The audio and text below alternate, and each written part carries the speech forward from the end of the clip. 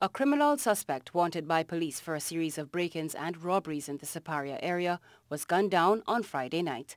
According to reports, 19-year-old Richie Sipasad of Penal was killed at a friend's house.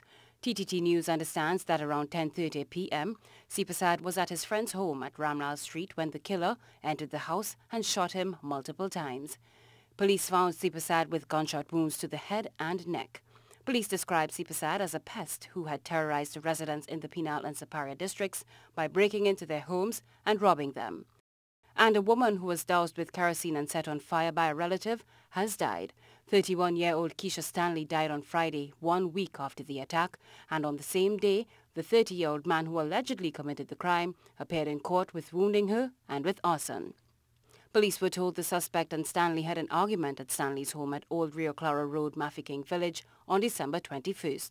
The man allegedly doused her with kerosene and set her alight. Stanley was rushed to the Mayaro Hospital and later transferred to the intensive care unit of the San Fernando General Hospital. Officers are expected to consult with the Office of the Director of Public Prosecutions on additional charges against the suspect. Khrystal Wilson, TTT News.